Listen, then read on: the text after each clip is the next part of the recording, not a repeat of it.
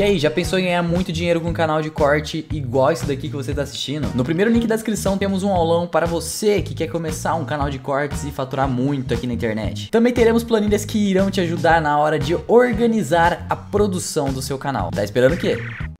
Então, no primeiro momento, você em momento algum, isso eu acho que é muito genial na série Mind Hunter, eles mostram isso, de fato isso é, é real. Isso que eu adoro essa série. A série é muito boa. E isso é real. Num primeiro momento, você precisa do quê? Rapport. Preciso de conexão empática emocional, tá? Que é que os caras tentaram fazer, né? Sim. Para quem não sabe que é a série Mind Hunters é o, é o início do estudo de tentar traçar um perfil psicológico. Criminal profiling, né? De, mas de psicopata, de, não de psicopata, de serial killers, né? De caras. Assassinos de, ou cereais ou de crimes hediondos. É. Uns caras assim que. que Tem cara, em massa também. Assistam, assistam Mind Hunter. É um livro, né? Na verdade. Baseado nos livros do John Douglas, é. Nas pesquisas do John Douglas. É um negócio assim sensacional, cara. Porque até, até, até nessa linha aí, por exemplo, talvez o. O cara que é um serial killer, um psicopata, ele é mais treinado para manter a história? Ouço muito isso. Ou não? Você não vai analisar o psicopata porque ele não tem emoções. Entendi. Bom, Vamos por partes. Que é o que o pessoal fala, né? Costumam é... falar, né? E isso cai exatamente no que você falou, mídia.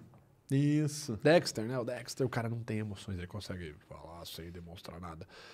Bom, o que acontece? Ou é que ele que vai, ele vai acabar te levando pro lado que ele quer, né? Que ele que acaba dando uma volta na, né?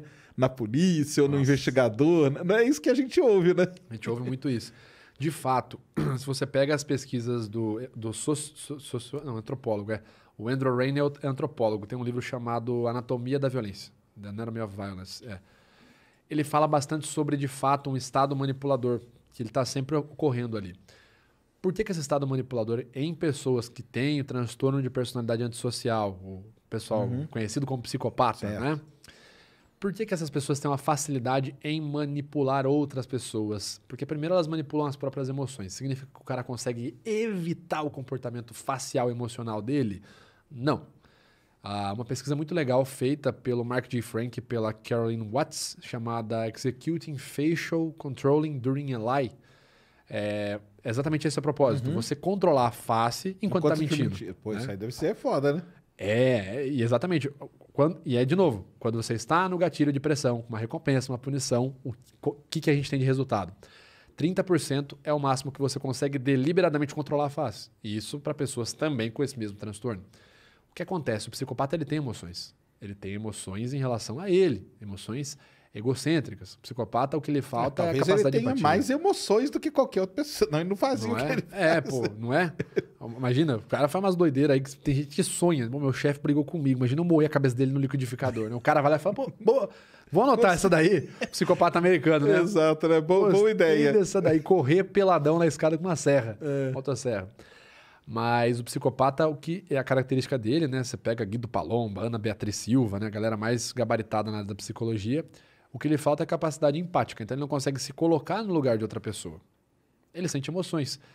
É, eu não lembro qual foi. Foi um workshop com o Leonardo Farias, que é criminal profiler da Polícia Civil de Goiânia, psicólogo, criminal profiler. Ele fez, ele estava analisando um caso. Olha que bizarro, uma câmera de segurança não lembro se é uma câmera de segurança ou se ele relatou pra gente esse caso. Enfim, pode, posso estar me confundindo aqui. A situação é: o cara estava cometendo um abuso sexual, tá? Um, um, uma pessoa que tem aí um psicopata, como dizem, né? A portadora do transtorno de personalidade antissocial. E ele estava lá cometendo abuso sexual e a vítima demonstrou prazer. A expressão dele na hora fechou de raiva e ele começou a atacar a vítima. Hum. Então, eles têm emoções egocêntricas, né? Não uhum. era aquilo que ele queria, entendeu? Naquele entendi, momento. Entendi.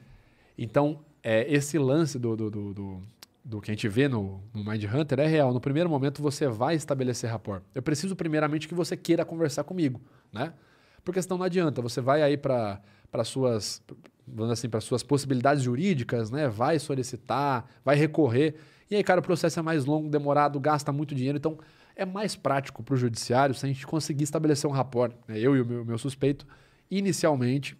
Mas eu acho que é até por isso que eles já pegaram caras que já estavam presos há muito tempo, né? Sim, sim. Se o cara não, tá, nem liga. Eles já estavam é, lá, né? Há muitos anos liga, e tudo, é. né?